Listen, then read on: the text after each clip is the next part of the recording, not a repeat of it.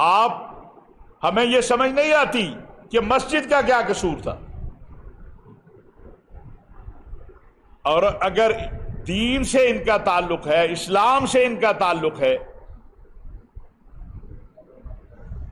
तो कोई मुसलमान ये नहीं सोच सकता कि वो मस्जिद को आग लगाए, या मस्जिद को जलाए, या मस्जिद में तोड़ फोड़ करे। वहाँ कुरान करीम भी थे, वहाँ आदिश की कुतुब भी थी।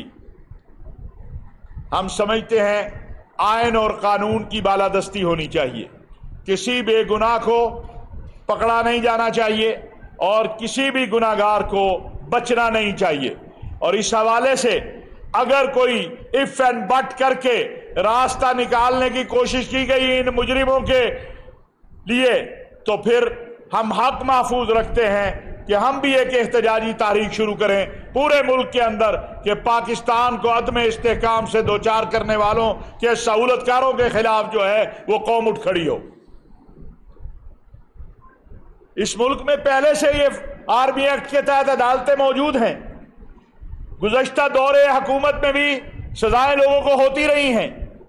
मुझे आप बताइए जिन लोगों ने जीएचक्यू पे जाके हमला किया है जना हाउस पे हमला किया है जना हाउस की मस्जिद को जलाया है, जिन्होंने शुहदा की तस्वीरों की बेहरमती की है। हमारे जहाज़ जो यादगार थे हमारी फतह कामरानी के, उनको निशाना बनाया है। उनसे क्या हमदर्दी है कि आप कहते हैं, नहीं जी, इनके मुकदमात भी जो हैं, वो आम अदालतों में चले ताकि दस, पंद्रह, बीस साल गुजर जाए। और फिर अजीब बात यह है कि जिस दिन 9 मई को हमला होता है। पाकिस्तान के अंदर उस दिन एक जलम खलीलजाद जो अपने वतन का गद्दार है, जिसने जो अफगानी है और अपने वतन का गद्दार है, जिसने कभी अपने वतन की बेटी के लिए बात नहीं की, अपने लोगों के लिए बात नहीं की, उसको पाकिस्तान का दर्द महसूस होना शुरू हो जाता है। कुछ और लोगों को भी मुख्तलिफ़ मुल्कों में यह दर्द महसूस हो जाता है। नाइन अलेवन के बाद अमेरिका ने जो दुनिया में किया, उस वक्त इंसानी हकूक कहाँ थे? गोंतनामो बे, बगराम एयरबेस, और बाकी उस वक्त ये इंसानी हकूक याद नहीं आए, उसका हिस्सा था ये जलम खलीलजाद और जलम खलीलजाद और उसकी बेगम, किनके पे रोल पे क्या कुछ करती है, ये सब कौम को मालूम है।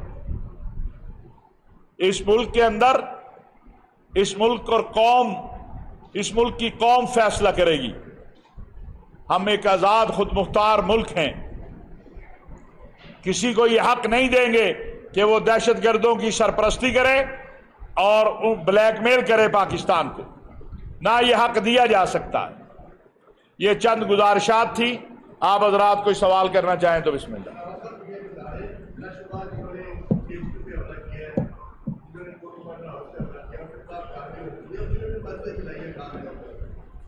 जिन्होंने चलाई थी और जिन्होंने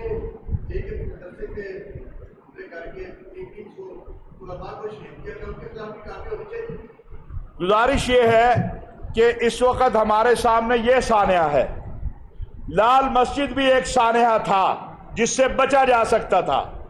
और जब तारीख अपनी तलख हकीकत लिखेगी तो ज़रूर उनमें से कुछ अल्लाह के पास चले गए, कुछ के बारे में तारीख फैसला देगी कि वो क्या था। हम आज भी समझते हैं कि लाल मस्जिद के मामले के ऊपर जब तहकीक होगी तो पता चलेगा कि वो भी एक ऐसा मामला था जिसका मकसद पाकिस्तान को कमज़ोर करना था। और उधर भी ऐसे लोग मौजूद थे जो अब इस दुनिया में नहीं है कि जो लाल मस्जिद के मासूम लोगों को गुमराह कर रहे थे, और उस वक्त भी यही एम था कि पाकिस्तान की कौम और फौज में तकसीम पैदा की जाए। और आज भी यही एम और यही कुछ था कि पाकिस्तान की कौम और फौज में तकसीम पैदा की जाए। एक मिनट एक मिनट। आप मेरी बात मुकम्मल या कर लू मैं? आपको ये हकीकत बताना चाहता हूँ कि लाल मस्जिद के वाक़े से पहले रास के चीफ से जाके दुबई में कौन शख्स मिला था, ये हमारे लोगों को मालूम है, आपको भी पता है। और वही शख्स था जिसने लाल मस्जिद के मासूम लोगों को इस्तेमाल करने की कोशिश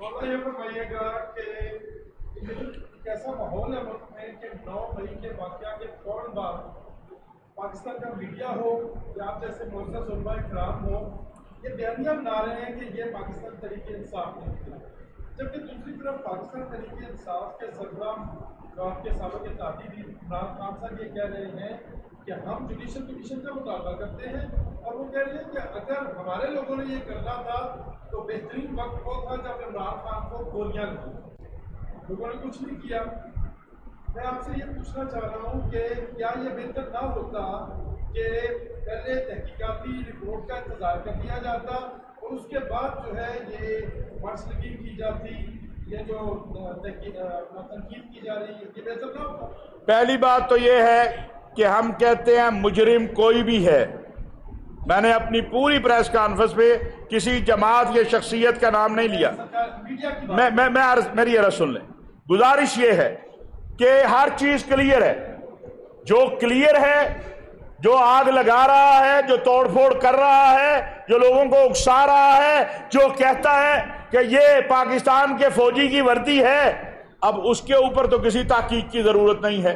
हाँ जो बेगुनाह है, हम आप, अब भी कह रहे हैं, हमने कल भी कहा कि किसी बेगुनाह को एक लम्हे के लिए भी पकड़ना नहीं चाहिए और किसी गुनाहगार को छोड़ना नहीं चाहिए। जी। अच्छा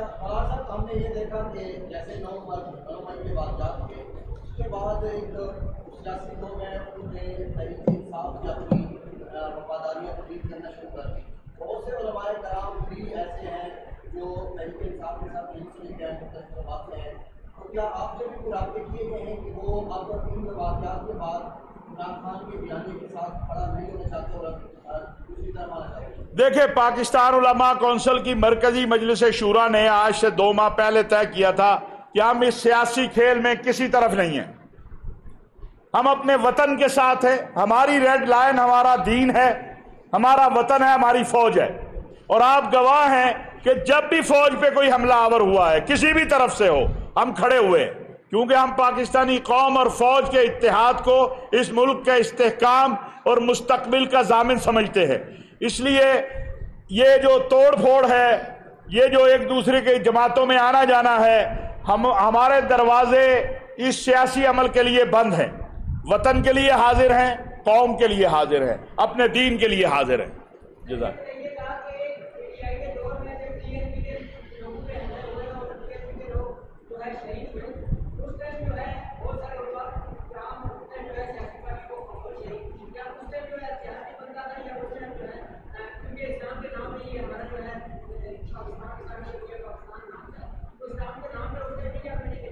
नहीं, मुझे समझ नहीं आई कि 9 मई का उससे क्या ताल्लुक है। पहले आप मुझे ये समझा दें।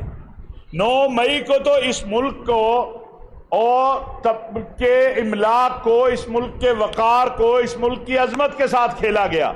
वो एक एहतजाज था। उन्होंने भी पुलिस, आपको पता कितने पुलिस वाले जख्मी हुए थे उस वक्त?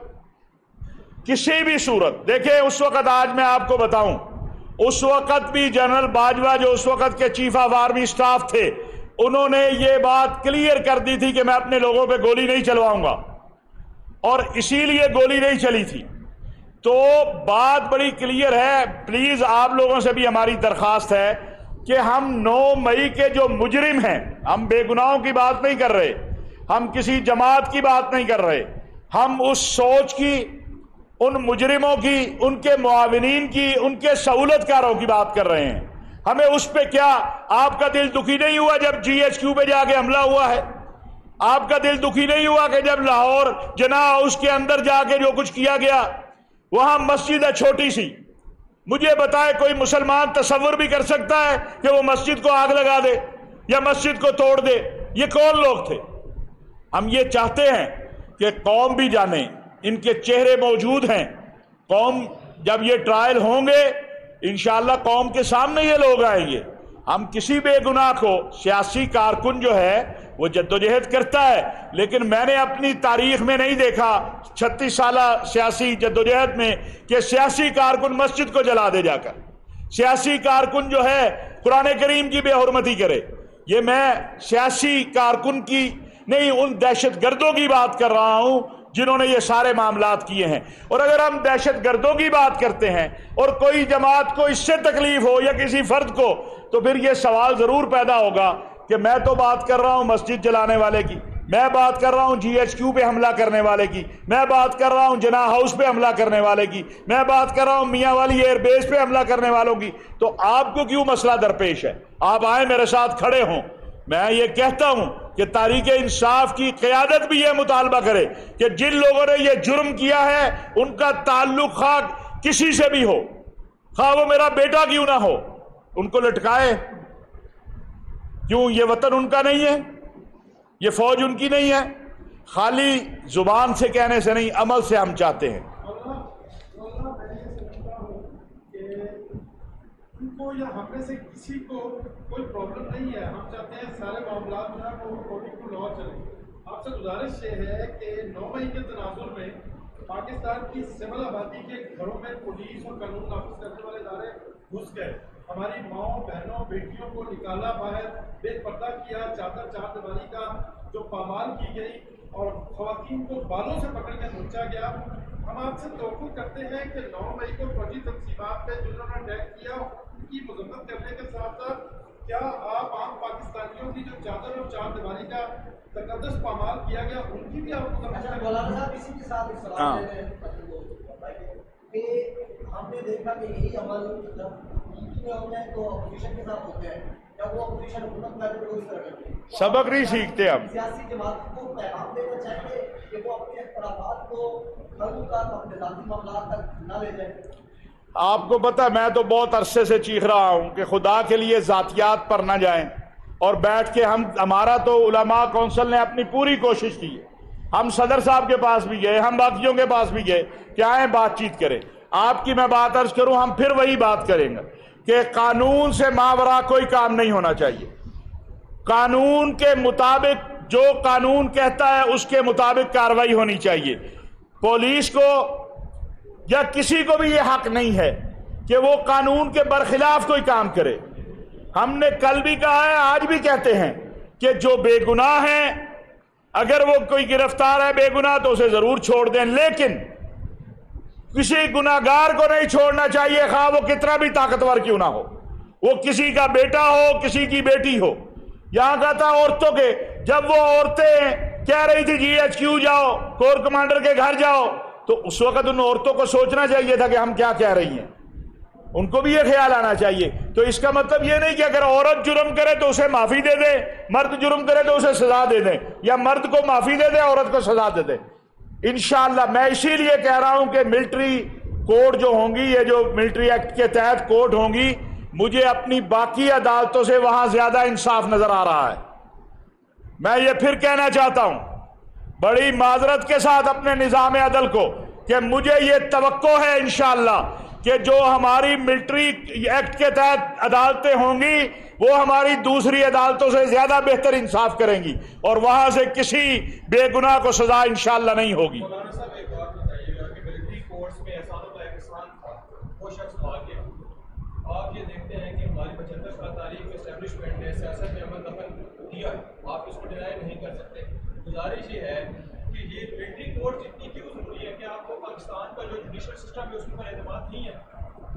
मेरे पास बहुत मिसालें हैं। अगर मैं देने जाऊँगा तो मेरी अदलिया के लिए शर्मिंदगी होगी।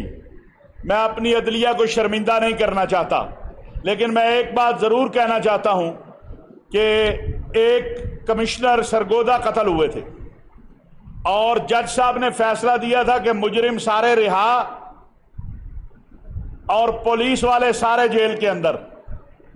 इस तरह बहुत मिसालें दी जा सकती हैं। आजकल तो वैसे भी अदलिया का जो मामला चल रहा है, अल्लाह खैर फरमाए। इसलिए हम चाहते हैं इंसाफ हो। हम तो ये नहीं कह रहे। बाकी जहाँ तक बात है, जो चाहते हैं अगर इस मुल्क की सियासी क्यादत, मजहबी क्यादत के इस्टेब्लिशमेंट सियासत में मुदाखलत ना करे तो वो जब तोबतुलनसू कर लेंगे तो वो नहीं मुदाखलत करेंगे। ये उनके दरवाजे पर ना जाया करें। ये जाते हैं तो वो मुदाखलत करते हैं। वो खुद नहीं आते। ये तलख हकीकत है। मुशरफ साहब खुद आ गए थे। हाँ अभी इमरान खान साहब को देख लें। तो इसलिए मैं नहीं समझता हमारी सियासी तारीख बड़ी तलख है। उसको एक तरफ़ रख दें, फिर वो सियासी बात हो जाएगी। हम उसमें नहीं जाना चाहते। होगा।